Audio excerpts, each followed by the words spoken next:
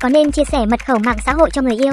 Chị nghĩ sao việc chia sẻ mật khẩu Facebook hoặc các tài khoản mạng xã hội khác cho người yêu? Em không bao giờ đòi xem mật khẩu của người yêu cả vì vẫn muốn có sự riêng tư cho cả hai nhưng sợ không chia sẻ thì họ lại nghĩ mình che giấu gì đó. Uhm, uh, chị nghĩ là người ta chỉ chỉ nghĩ là không chia sẻ là che giấu khi mà người ta còn ờ, chưa biết thông cảm với ở còn nhỏ tuổi thôi. Chứ còn chị thấy là đến cái độ tuổi của chị chả ai còn share mật khẩu cho người yêu nữa rồi ấy. Kiểu thấy nó rất là vô lý luôn. Đấy là một cái yêu cầu rất là vô lý. Bản thân chị cũng không muốn share cho người khác và người khác cũng không share cho chị. Chị nghĩ đơn giản là nếu mà người ta muốn nếu mà người ta đã muốn ngoại tình hoặc là nếu mà người ta đã muốn bắt cả hai tay á thì người ta sẽ đủ thông minh để không đưa đưa mật khẩu cho mình. Facebook người ta vẫn có thể ngoại tình bằng cách khác.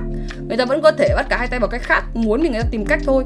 Thế nên là cái việc mình uh, giữ mật khẩu của người ta chả thể giải quyết được cái gì cả. Chả giải quyết được cái gì chỉ có thể hiện được là mình đang rất là không tự tin vào bản thân mình không tự tin vào sức hút của bản thân mình không tự tin vào mối quan hệ đấy. Thì mình cứ phải kiểu đi giữ đi kiểu như là đi làm những cái trò đấy chị không không thấy nó có ý nghĩa gì cả ấy. Ờ, bởi vì muốn thì người ta sẽ có cách thôi à. Kiểm soát như thế rất là buồn cười. Chị nghĩ là thay vì ngồi suy nghĩ như thế thì ờ, thì ờ, mình chia sẻ thẳng thắn với nhau luôn từ đầu Là Trung Thủy là tự giác. Trước khi yêu ai chị đều nói với người ta một câu đấy là Trung Thủy là tự giác. Chỉ cần để cho chị biết là người ta có một cái mối quan hệ nào đấy với người khác thôi Thì ngay lập tức chị sẽ dừng lại không cần phải nói thêm một câu gì nữa bởi vì là chị không bao giờ chị chấp nhận được một người mà phản bội hay là một người mà kiểu không trung thủy cả. Thì chị nói luôn từ đầu như thế rồi. Chị cũng nói với người ta là chị sẽ không làm mấy cái trò kiểu như là kiểm tra hay là cái gì gì gì để làm gì hết á. Đấy thì uh, nếu mà người ta cảm thấy cái mối quan hệ này còn đáng trân trọng thì người ta đừng đừng làm đừng làm nó tệ đi bằng cách là đi với người khác thôi. Thì người ta sẽ tự biết được ờ, phải làm gì. Bây giờ lớn rồi mà. Thì chị, chị, chị nghĩ là có thể là do chị lớn rồi. Thì thì bọn thì chị với cả ví dụ chị có yêu ai thì chị nói chuyện thì người ta cũng có thể hiểu được. Chứ còn muốn muốn ngoại tình thiếu gì cách nhở? Cần gì mà phải pass facebook làm cái facebook nữa? Hoặc là mẹ quen qua game nhắn tin qua game instagram zalo các kiểu. Thiếu cách gì để mà ngoại tình đâu? Nếu mà muốn thì thiếu gì đâu? Ôi mẹ cái mấy cái đứa mà nó đã thích ngoại tình rồi nó tinh vi lắm. Cấm sao được? Đúng không? Đúng vậy. Cái cái kiểu cầm đấy nó rất là buồn cười làm cho nhau mệt mỏi hơn thôi à. Tắt kiểu đấy trẻ con á người ta vợ chồng còn không kiểm soát kiểu đó. Ừ, nói chung là đấy là cái ý thức mà ý thức của hai người mà. Ngoại tình là ngoại tình là sự lựa chọn đấy. Không không có không có đáng thương đâu các bạn ạ. Không không có nhỡ may, không có chẳng may gì hết. Ngoại tình thực sự là sự lựa chọn. Và trung thủy là tự giác, thế thôi. Trung thủy hay là ngoại tình đều là sự lựa chọn. Người ta đã chọn ngoại tình rồi thì không có lý do gì để mình mình mình có thể suy nghĩ là đáng thương hay cái gì mà phải tha thứ hết á. Chị cuốn thật đấy, em cũng muốn được một phần tại crush em, fan chị á à? chị nghĩ là từ từ rồi sẽ đến lúc thôi tại vì là để ờ, chị có thể nói được chuyện kiểu đấy là chị đã sống trên đời trước em mấy năm rồi. Thì ờ, em không thể so sánh em của bây giờ với cả chị của bây giờ được, tại vì em kém tuổi chị mà. Thì ờ, em nên so sánh chị của vài năm trước lúc chị bằng tuổi em với cả em bây giờ, hoặc là em của sau này với cả chị bây giờ. Nó sẽ có những cái độ tuổi kiểu vậy, chứ còn giờ so sao được, em bé hơn chị, tuổi chị mà chị sống trên đời lâu hơn em, chị phải biết nhiều hơn em chứ. Sao cái gì nàng cũng tư vấn được hết hay thiệt thôi thì không biết mình bốc phét. Làm gì để thay đổi tư tưởng độc thân của một người? À, có cách nào đổi từ độc thân của một người không chị là sao? Tư tưởng độc thân của một người á cái đấy là phải tự người ta thay đổi thôi. Cái người mà người ta đã có cái có cái suy nghĩ như thế rất là khó để thay đổi. À, thường người ta sẽ tự thay đổi theo theo kiểu như là cuộc sống của người ta gặp những cái vấn đề gì những cái biến cố gì ấy. Bản thân mình cũng thế thôi khoảng 2 năm trước là mình nghĩ là mình có thể sống không cần đàn ông ấy.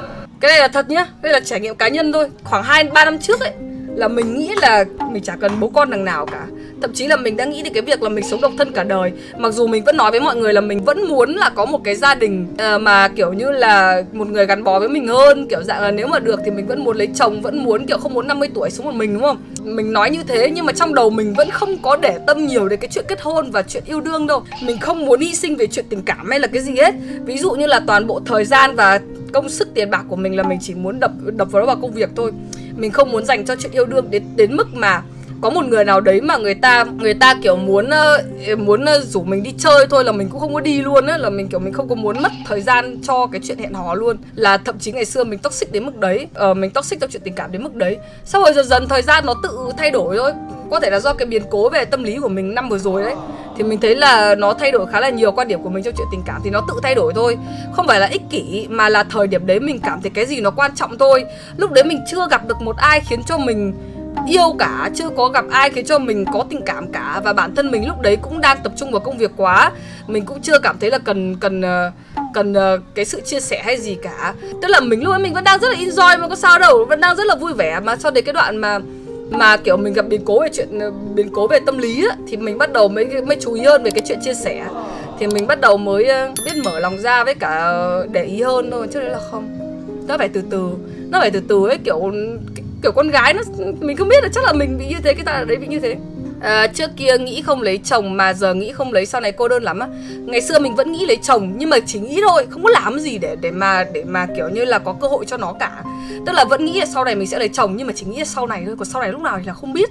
Hoặc là trường hợp xấu nó xảy ra nó không không xảy ra thì cũng thôi đấy kiểu vậy.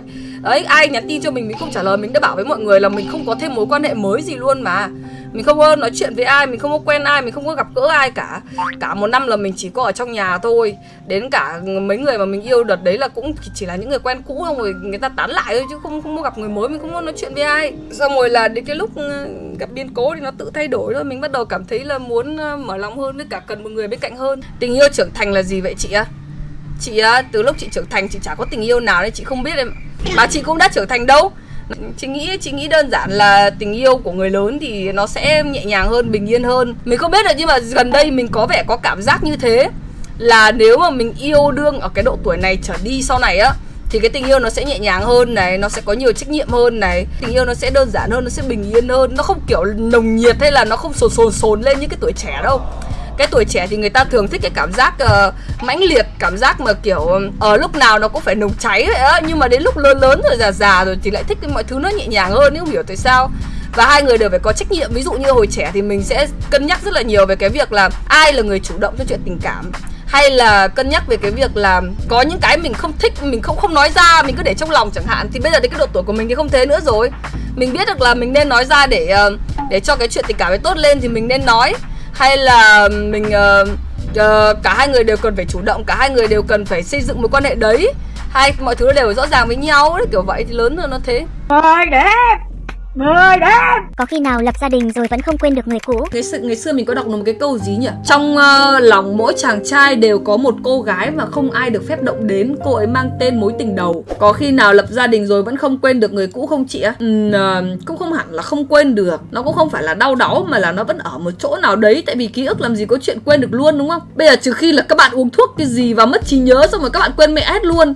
Chứ cái gì mà mình đã trải qua thì nó không thể quên được nó chỉ là các bạn có nhớ về nó nhiều hay không thôi hay là khi mà nhắc đến nó các bạn còn cảm xúc gì không thôi. Đấy thì những người mà nói là quên người yêu cũ rồi thì khi mà nhắc đến chuyện cũ thì người ta thấy bình thường. Người ta không có thấy đau lòng nữa. Nhưng mà có một số người á người ta vẫn đang sống cho hiện tại. Người ta vẫn yêu người mới vẫn hạnh phúc thậm chí là có vợ có con.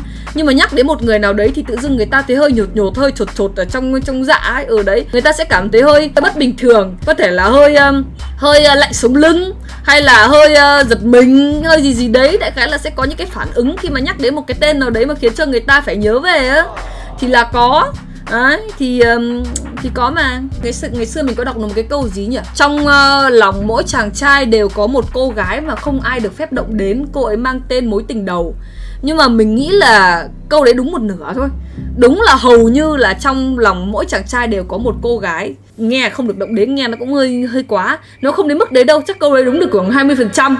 Thì tức là trong lòng mỗi chàng trai đều có một cô gái mà khi nhắc về á là người ta sẽ cảm thấy kiểu nhột người ta sẽ cảm thấy hơi uh, hơi hơi chột dạ một xíu. Thì là có nhưng mà không ai được động đến thì cũng không đúng. Và mối tình đầu thì cũng không phải tại vì không phải ai mối tình đầu cũng tuyệt vời. Nó cái người đấy sẽ là cái người mà mà sâu đậm nhất là người mà khi yêu cái tình cảm của người ta nồng cháy nhất, mãnh liệt nhất, chân thành nhất. Đấy, tức là ví dụ nhá, ví dụ như là mình thấy nhiều người đi, không phải tất cả nhưng mà nhiều người nhiều người là thường có cái mối tình đấy ở cái đoạn mà thanh xuân vườn trường tuổi trẻ, kiểu độ khoảng tầm ờ, cấp 3 hoặc là đại học, cấp 3 hoặc là đại học ấy, là người ta sẽ có những cái mối tình mà nó nó rất là mãnh liệt, kiểu người ta không có tính toán gì cả, người ta yêu một cách chân thành, một cách vô tư, yêu hết mình sẵn sàng hy sinh, không có tính toán gì cả và không có cái sự đề phòng hay gì hết á.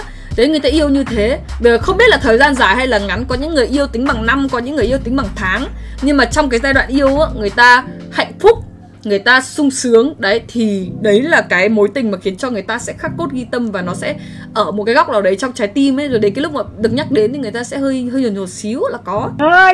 Người yêu cũ mới mở hàng ăn nó inbox mời đến ủng hộ liệu có nên đi đi không á? Nếu mà anh cảm thấy là khó nuốt quá thì thôi cũng không phải cố đâu. Mắc công đến nuốt không không trôi đúng không? Ví dụ biết đâu lại thấy người ta uh, có một uh, ai đấy bên cạnh xong rồi thỉnh thoảng lại lấy cái khăn chấm chấm mồ hôi cho cay lắm nuốt thế nào được thì không ấy anh cứ inbox cho em địa chỉ xong rồi donate em qua em ăn hộ cho ừ vẫn là ủng hộ mà đúng không nhưng mà em nuốt thì vào nhá